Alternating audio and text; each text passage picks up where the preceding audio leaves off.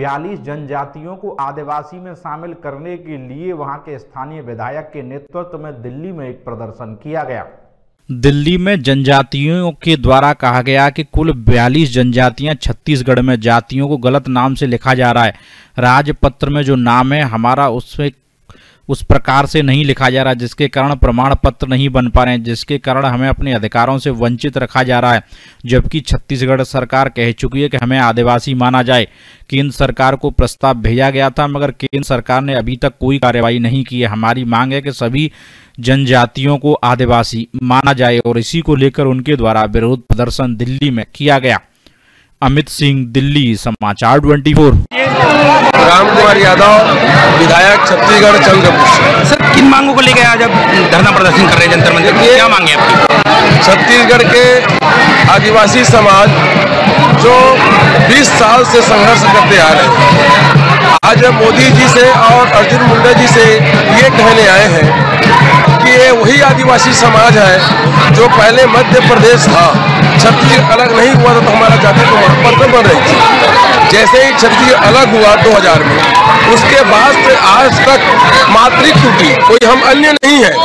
किसी का आ का मात्रा, किसी का अंक का मात्रा से पटवारी ने गलत लिख दिया गुरु जी ने गलत लिख दिया, हम तो आदिवासी समाज ऐसे आदिवासी समाजों ने आवेदन दिया।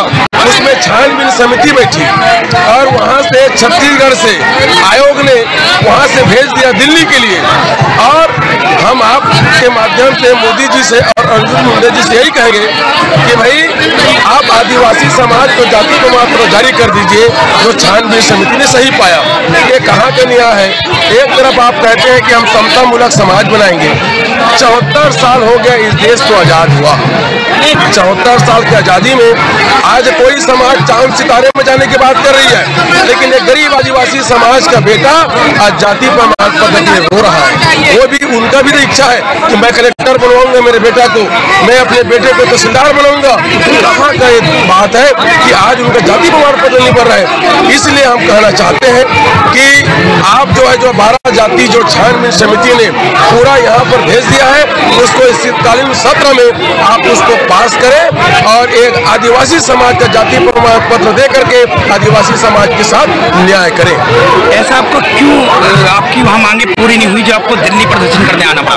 देखिए आदिवासी समाज, बहुत भोले भाले समाज। है इन लोग जो है अपने में मस्त रहते हैं। जंगल में रहते हैं, पहाड़ पर्वत में रहते हैं, अपने खाते हैं, कमाते हैं, किसी से लेना न किसी से देना।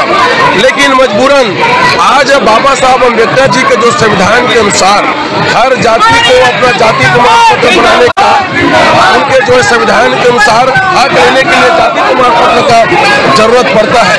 लेकिन आज एक बताइए कि आज हमें एक तकलीफ़ हो रहा है आज आपके माध्यम से नेता लोग देख रहे होंगे आपके चैनल में? वो अपने आप को आके कि ये कहाँ का न्याय है? ये कौन सा भारत बनाना चाहते हैं वो आप? कि एक तरफ़ चौहत्तर साल में एक जाति प्रमाण पत्र नहीं बन पा रहा और हमारे बाबा लोग आदिवासी थे। मेरे पिताजी हमारे लोग आदिवासी थे। यहाँ तक कि आपको कहीं ऐसा मिलेगा, आपको यहाँ पर आए हुए हैं। एक भाई आदिवासी है और दूसरा भाई आदिवासी नहीं है। और उसके बाद भी तुम करने नींद में सोए हुए हैं। जागो! कहीं ऐसा न हो, इतिहास गवाह है कि जो जो भी शासक रहे हैं, गरीब आदिवासियों के ऊपर, अन्य पिछड़ा गरीब लोग के ऊपर जो शोषण किए हैं, उसको इतिहास में कभी किसी ने माफ़ नहीं किया है। ये वही समाज है जिस समाज में बिरसा मुंडा पैदा हुआ। ये वही समाज है जहाँ से दुर्गावती पैदा हुई। ये वही समाज है जहाँ से आज जो है वीर शहीद नारायण सिंह जी पैदा हुआ।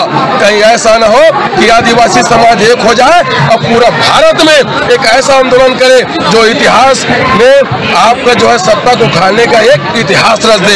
इसलिए तो आपका अगला कदम क्या रहेगा?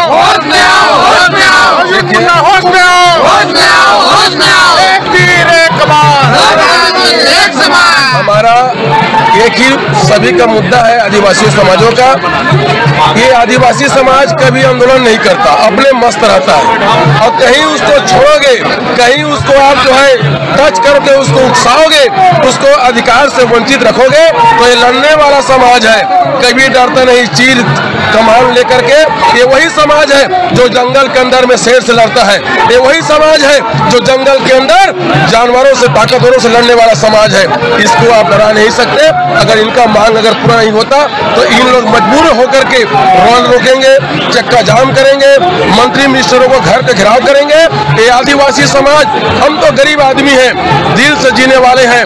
कहीं इसको छोड़ोगे तो कहीं आपको लेना का दिलाने पड़ जाए। इसलिए जो भी अगर आप मांग नहीं पूरा करते, आंदोलन करेंगे जन धन का हानि का अगर कोई क्षति पहुँचता है, इसका संपूर्ण जवाबदारी दिल्ली की सरकार, मोदी की सरकार, अर्जुन मुंडा जी होंगे।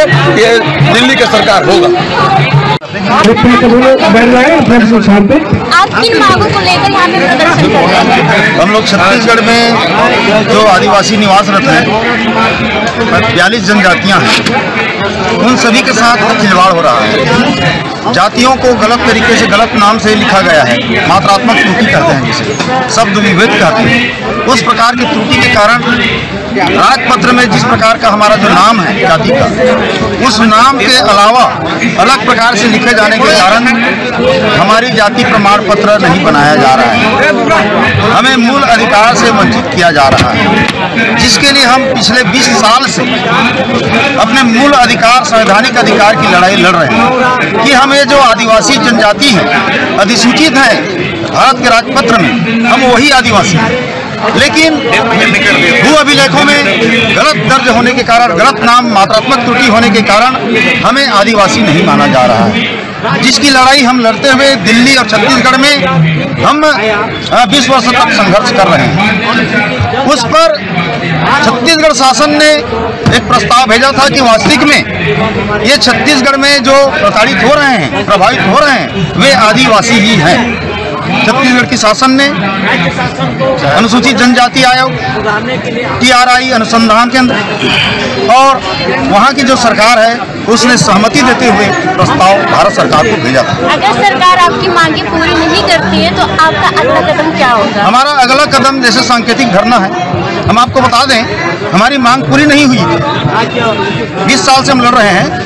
एक नवंबर 2017 में चालीस हज़ार की संख्या में सिर्फ़ एक जाति ने छत्तीसगढ़ के एन एच तिरपन सराईपाली में राज्योत्सव का बहिष्कार करते हुए रेल रोक रोड ब्रेक किया हुआ था। और छह घंटा रोड ब्रेक किए। उस दिन हमारे महामहिम राष्ट्रपति जी कोविंद महोदय जी भारत छत्तीसगढ़ गए थे।